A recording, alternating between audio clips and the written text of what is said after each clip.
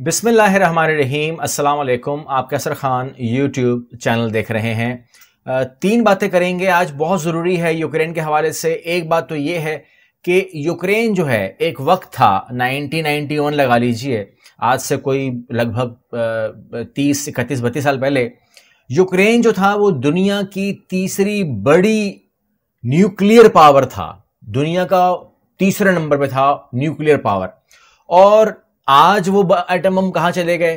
पहला सवाल। दूसरा सवाल कि क्या प्यूटन ने जो जलिंस्की है, यानी कि सदर जो हैं, आज जो सदर हैं यूक्रेन के, उन्हें कत्ल करने का क्या हुक्म दे दिया है? ये भी खबर में कवर करेंगे विद प्रूफ ऑल प्रूफ्स और तीसरी खबर यह है कि यूक्रेन ने जो एटमी पावर प्लांट के ऊपर कब्जा कर लिया है तो उसके बाद उससे क्या ऐसा हो रहा है अखराज जो बहुत ही ख़तरनाक है। तो ये तमाम चीज़ें जो है इस वीडियो का हिस्सा बनेंगी। मैं उम्मीद करता हूँ कि आप मिस नहीं करेंगे, पूरी वीडियो देखेंगे और चैनल को सब्सक्राइब करेंगे आने वाली वीडियोस के लिए। तो शुरू करते हैं सबसे पहली खबर, वो यही है हमारी कि एटम बॉम्ब गए कहाँ? क्योंकि ये तो तीसरी आलमी, यानी कौन सा ऐसा मुल्क होगा? आप पूछ, सवाल कर सकते हैं ना कि कोई ऐसा मुल्क ऐसा मुल्क तो दुनिया में मौजूद है, उसकी कोई गिनती भी नहीं होगी कि वो एटमी ताकत बनना चाहेंगे। लेकिन क्या कोई ऐसा मुल्क दुनिया में है जो एटमी पावर था, लेकिन और दुनिया की तीसरी बड़ी एटमी पावर था, फिर वो नहीं रहा तो उसको कहते हैं यूक्रेन। यूक्रेन नहीं रहा। अब इस पूरे मामले को हम चेक करते हैं। ये आप मेरे साथ देख रहे हैं। उसमें यह है कि दिफाई एतबार से यूक्रेन का कहते हैं कोई रूस के साथ कोई मुकाबला नहीं है। अगर आप पावर की बात करेंगे टैंक गिनना शुरू कर देंगे, अगर आप असलाह गिनना शुरू कर देंगे, अगर आप जहाज़ गिनना शुरू कर देंगे, अगर आप दिफाई बजट की बात करेंगे तो 11 अरब के डॉलर के आसपास जो है ये खर्च कर रहा होता है यूक्रेन तो बहुत इसमें फ़र्क है। लेकिन मैं आपको बताने जा रहा हूँ कि एटमी पावर कंट्री नहीं रहा पहले हिस्से में, वो क्या हुआ? तो मैंने कहा, जैसे आपको बताया कि 1991 तक सोवियत यूनियन का ये हिस्सा था और सोवियत यूनियन से अलीहदगी के वक्त यूक्रेन के पास बड़ी तादाद में जोहरी हथियार मौजूद थे। तादाद के लिहाज से यह दुनिया में तीसरे नंबर पर था और ये हथियार सोवियत यूनियन की जानब से वहाँ छोड़े गए थे।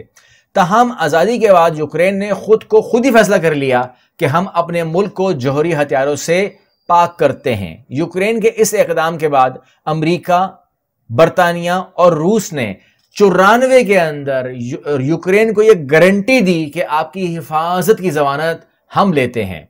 अब इस बात से यह प्रूव हो जाता है कि अगर आपकी हिफाजत की जमानत अमेरिका ले या बरतानिया ले तो उस पर यकीन नहीं करना चाहिए, क्योंकि यूक्रेन ने यकीन किया और आज उसका सत्यानाश इसी बात से ही हो गया कि उसने उसकी बात पर आके जो है, अगर अगर अमेरिका किसी को बोले कि अपने न्यूक्लियर हथियार तल्फ कर दे तो उसके बाद अमेरिका किस तरीके से ट्रीट करता है वो हमारे सामने फ़िज़िकल यानी कि एक, एक कहते हैं ना सॉलिड प्रूफ अब तो आ गया है।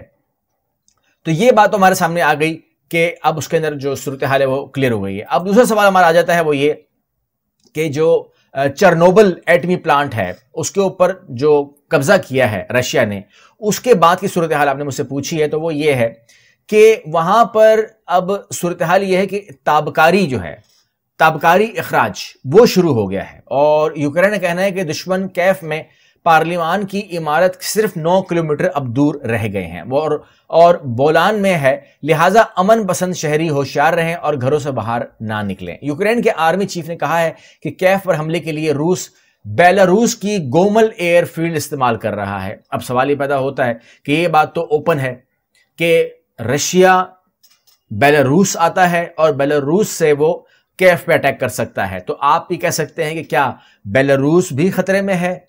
बेलारूस को रूस की खुली सपोर्ट है। आप जानते हैं, एक एक जिसम दो जान है।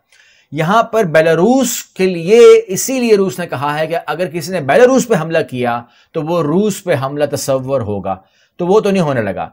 दूसरी जानब यूक्रेन के सदारती मुशीर के मुताबिक यूक्रेन में ईंधन की कमी हो गई है। कहते हैं कि हमारा बैंकिंग सिस्टम चल रहा है, लेकिन हमारी बंदरगाहें और हमारी फ़िज़ाई हदूद को बंद कर दिया गया है।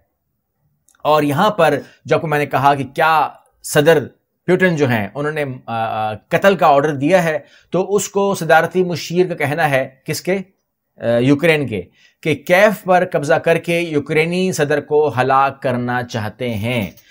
जो यूक्रेन के मुशीर हैं, उन्होंने इस बात को कंफर्म कर दिया है कि जेलेंस्की जो है, वो इस टाइम कैफ में मौजूद हैं, और रशियन फौज जो है, वो इसी लड़ाई में, इसी झगड़े में, इसी अफर तफरी में जेलेंस्की को कत्ल करना चाहती है।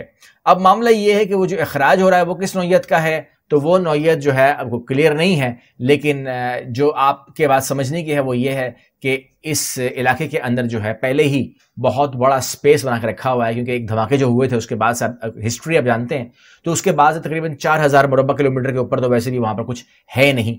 तो अब वहाँ पर रूस पहुँच चुका है। तो ये कुछ ऐसी अपडेट्स थी जो आपके दिमाग में होने चाहिए कि जो सूरत हाल पैदा हो चुकी है और आपके सामने मैंने रखी। जब सवाल भी थे, लोग पूछ भी रहे थे कि एटम बम कब चलाएगा? उसके पास अब एटम बम है ही नहीं चलाने के लिए। अगली वीडियो में मिलते हैं। अल्लाह हाफिज़।